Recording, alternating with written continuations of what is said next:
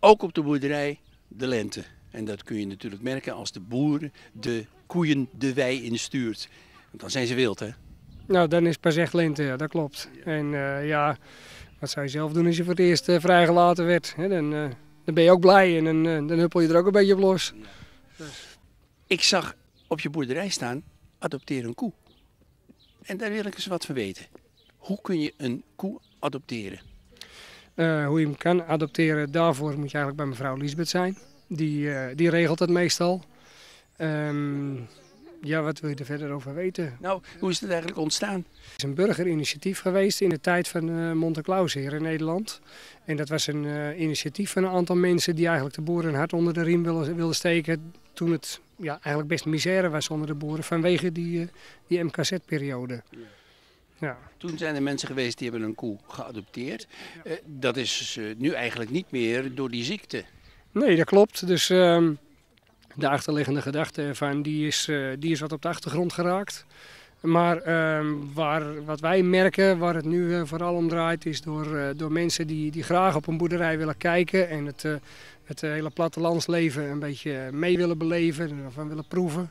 Die willen graag op een boerderij komen en op die manier, door een koe te- te adopteren, is die weg vrij. En dan wordt er twee keer per jaar een open dag gehouden. En dan kunnen ze lekker rondkuieren en van alles vragen. En ja. het boerenleven. Maar vandaag een speciale dag en die staat open voor iedereen, hè? Ja, dat klopt. Eh, we hebben het vandaag eh, wat anders opgezet, omdat we er tien jaar aan, eh, aan meedoen.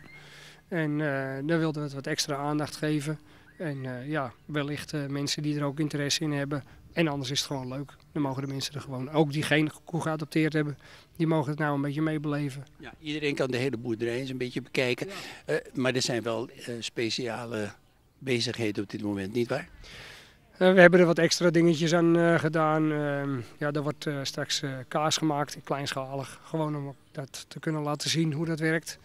Ehm, er staat hier een tent op het erf. En ehm, daar mogen mensen ook even in kijken. Dat is een aparte vorm van ja, recreëren, wonen, net hoe je het wil zien.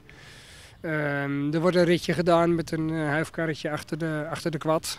De landbouwkwad, waar we normaal de koeien mee halen. En ja, zo zijn er nog een aantal dingen. Nou, als hoogtepunt, misschien gaat er straks nog wel een koekalven. Niet gepland, tenminste ja, eigenlijk ook wel, maar niet speciaal hiervoor. Maar dat zou zomaar kunnen. Het zou wel leuk zijn als dat gebeurde met het publiek erbij natuurlijk, hè? Ja.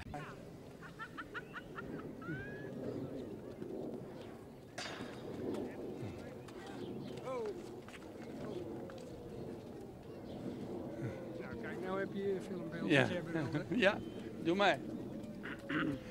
Nou, de koeien zijn naar ons toegekomen. Ja, die wilde ook geïnterviewd worden, denk ik. Dat zit erin, ja. Koeien zijn ook altijd een beetje nieuwsgierig, hè? dus eh, het is niet zo vreemd. Die noemen je ook biologisch, nietwaar? We hebben een biologisch bedrijf, eh, dat is ook al eh, tien jaar ongeveer. Daar zijn we ongeveer in dezelfde periode mee begonnen als eh, toen we met het Adopteren Koe project mee gingen doen. Bij Adopteren Koe is het trouwens ook wel een, eh, een voorwaarde dat je een duurzaam eh, bedrijf hebt. En biologisch is dat sowieso. En binnen heb je daardoor ook wat stands ingericht, hè? Ja, er zijn wat stands ingericht die eh, wat speciaal gericht zijn op biologische eh, landbouw. Er staat ook een biologische kraam met eh, producten. eh, van Zuivel, maar ook eh, de, van de groenteman hier op het dorp, die heeft het een en ander staan. Eh, de koffie is ons bijvoorbeeld geschonken. Nou, ook leuk natuurlijk. Ja. Die verkopen dat ook. We vinden het leuk dat we hier mochten zijn. Eh, we vinden het ook leuk dat er zo'n dag is voor het publiek. Want ja, een heleboel mensen willen graag vanuit het dorp of de stad eens een keer bij een boer kijken. Dat is wel duidelijk. En dat is zeker duidelijk. Nou, en gezien de opkomst is dat wel bewezen. Ja. En eh, ja, het is een mooie dag, dus wat wil je nog meer? Dankjewel, boer Samson.